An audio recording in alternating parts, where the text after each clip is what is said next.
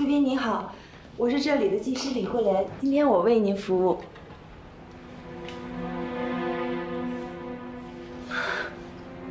怎么是你？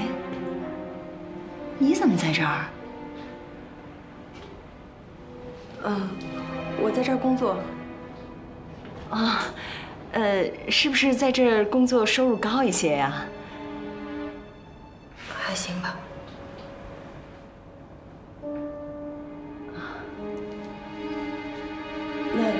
咱们开始吧。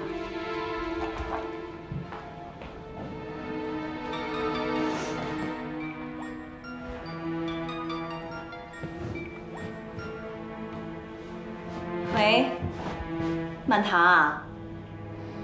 啊，哎呀，这种事儿你就不用问我了，你自己做决定就行。啊啊，放心吧，我这刚刚到一个按摩院，想请个技师给我放松放松，你这电话还是追过来了，真是。哎呀，你就代表我了，好吗？好嘞，啊，您摁完了之后，呃，告诉我，我去接您。都听你的，啊。嗯，可以开始了吗？啊，可以了。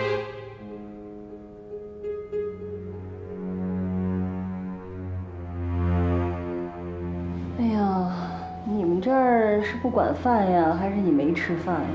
怎么一点劲儿都没有啊？哎呦，哎呦，啊！你跟我有仇啊？哎呦，这劲儿使得太猛了吧！如果你不满意我的服务，你可以换一个技师。哼，我是这儿的老会员，我还没听说过这技师挑客人的呢。您别误会，我是怕我为您服务不好，您不满意。今天我还就让你给我按了。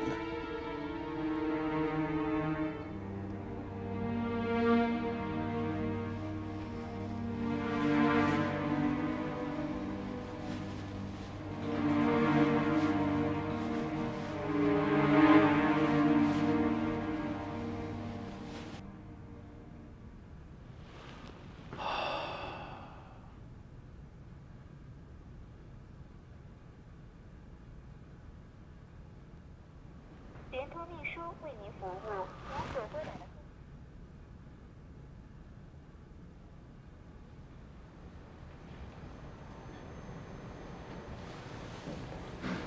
您拨。叫的用户已关机。嘿，关机了。哎其实你这个人用点心，还是挺会伺候人的嘛。要不然满堂能娶你呢？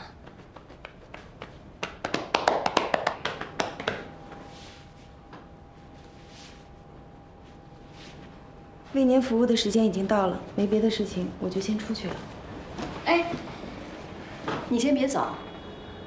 呃，这样吧，我再给你加个钟，不用你给我按，咱俩聊聊。咱们有什么好聊的？咱们俩除了满堂，好像没有第二个话题吧？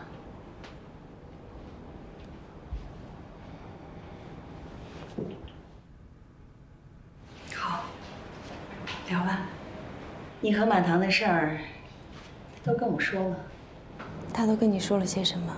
无非就是你为这个家付出了多少，两个孩子离不开你，老人也是离不开你的。哦，对了，你是不是还救了金宝的命啊？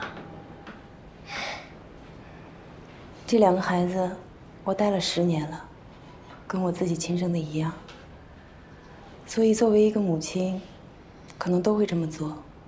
啊，我听满堂说，你是一个人，还没有做过母亲，所以也许你不能理解。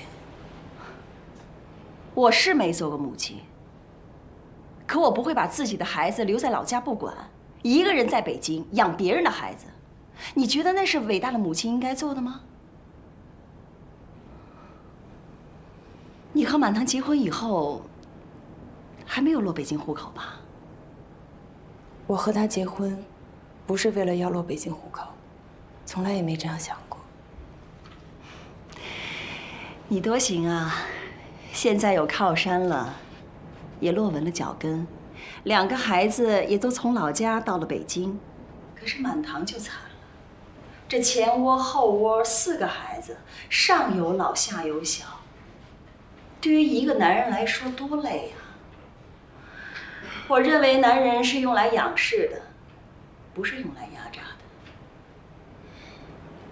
您说的对，我也觉得他太累了，我也很心疼，所以我出来找工作，也想为他分担一些，多挣点钱。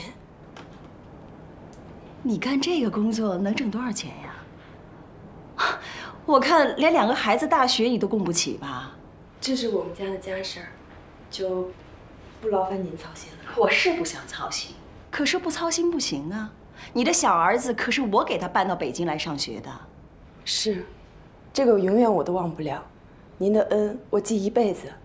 您放心，我们会尽快的给您把钱还上。拿什么还呀？就靠给人家按摩，拿那点提成，什么时候能还得清啊？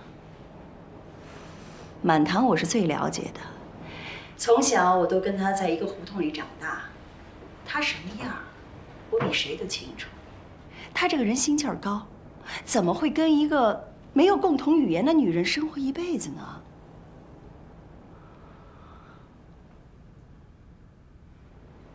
这是你的想法还是他的想法？这还用说吗？满堂这个人心软，为了这个家，他甘愿牺牲自己的幸福。我可无意冒犯你啊！要是没有爱情的婚姻，那不就等于坟墓吗？我是觉得，不管是朋友之间还是夫妻之间，如果不能给对方带来快乐的话，那还有意义在一起吗？今天我就把话挑明吧。如果你肯给满堂一条生路的话，我愿意给你一笔钱作为补偿，够你两个孩子上完大学。你看怎么样？您的好意我心领了，秦总，我再次感谢您。为我儿子所做的一切，我也向你保证，一定会把钱尽快的还给你。不过你所说的没有爱情的婚姻是坟墓，我不知道怎么界定。我不知道怎么界定这个感情。当自己的男人知道自己的女人累的时候，他会给她泡脚，给她按摩。他的女人饿了，不管是夜里几点，他都会起来给她煮碗面。这是算有感情还是没感情？